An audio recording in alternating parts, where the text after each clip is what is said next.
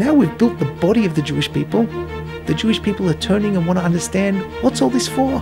When I was on the birthright trip, I started to, to separate myself from the group and I started feeling like something here is special. They'd wave the Israeli flag and you started feeling like, whoa, this is this is my land, this is my nation, these are my people. What is the meaning and significance of our return back to the land? The nation is like this adolescent stage of ready for adulthood, ready for the bigger picture of what God wants for the world, for creation that comes to the Jewish people. Not by rejecting the body of Israel, not by rejecting the physical side of Israel at all. The goal is to have a healthy soul in a healthy body. Now you've built yourself up so strong. Let's go and do something wonderful with it. Let's give the world ethics and values and light.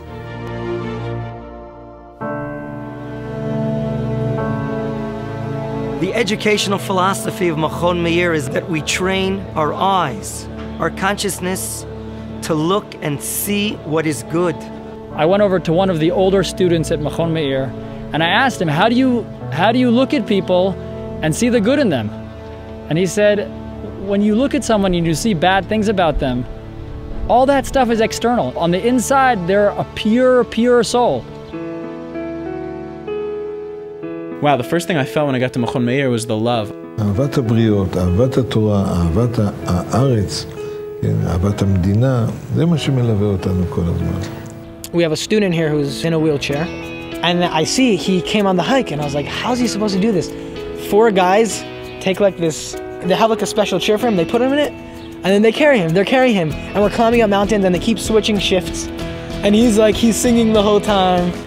And uh, after seeing that, I was like, wow, you know, you can do anything here at Machon Meir. Rav Begon does this wonderful thing. He picks a city in Israel that he feels needs strengthening. The whole yeshiva goes, several hundred boys with all the Israelis. They split up in town. So, like 30, 40 boys will go to each one of the little synagogues in town and sing and dance, and the rabbi will give a Devar Torah. Strengthen the whole town. Our goal is to help students see the big picture, see the importance of what they do on a national level uh, with regards to their responsibility to the nation, and at the same time to maintain the focus on their responsibilities in building a good home, building a warm home, building a home that is filled with the Torah values. amazing, amazing people here. What's so unique about Machon Meir is that they're open to all types of people. Coming to Machon Meir affords a unique opportunity to meet Jews from all over the world. You have an Israeli program here, a Russian program here, a French program here, a Spanish program here with a subsection for Portuguese speaking Jews. You have a conversion program here. When you're sitting in the Beit Midrash, you're surrounded by these people and you're all focused on the same goal is learning Torah, learning what, what God wants from you, and that melts away the differences. The rabbis here, they are involved in their students' lives. They're not just teachers, they are mentors. They spend a lot of time trying to get to know each and every person, and it makes you feel close to them in a way that makes it easier to learn from them.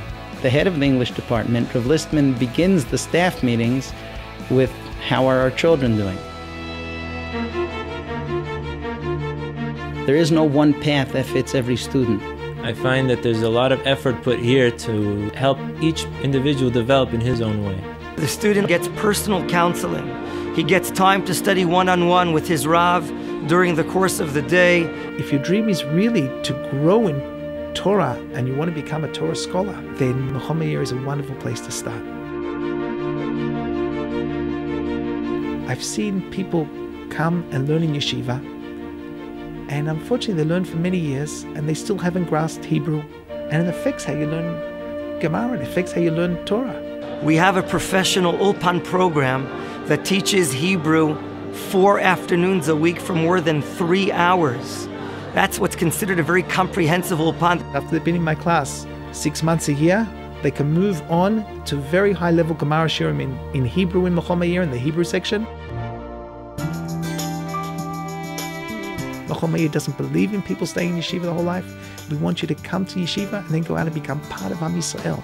How can I be a building block in the state of Israel? How will I be able to use my profession if I'm an engineer, an attorney, an educator, a farmer?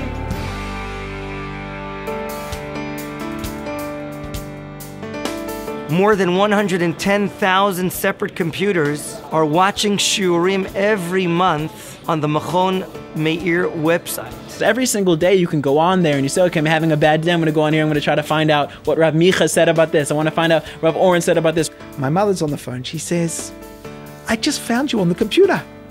Uh, there's this site, the Machon Meir website. You're in the lounge room giving a shiur. I said, Mum, that's fantastic. She said, just like you're at home. You're in the lounge room talking and no one's listening to you. They have something called Arutz Meir, which means the Meir channel. The basic objective of Arutz Meir is making the Beit Midrash of Machon Meir the greatest and most sizable Beit Midrash in the world. There's a studio upstairs at Machon Meir where they're shooting kids shows. The shows are extremely funny. They're written extremely professionally. It says in the Torah, Ki mitzion teitzei Torah, u'devar Hashem Yerushalayim. From Zion shall go forth the law and the word of God from Jerusalem.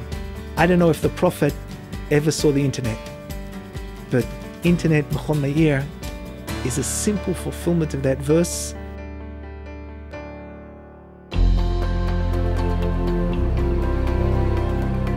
now you can't walk anywhere in Israel where there aren't people who are learning from rabbis from Machon Meir. Machon Meir is aware that we're in a process of rebirth, that the, the Jewish people are coming back to life. To be part of the Jewish people means that we're here not just to um, take care of ourselves, but to take care of the whole world.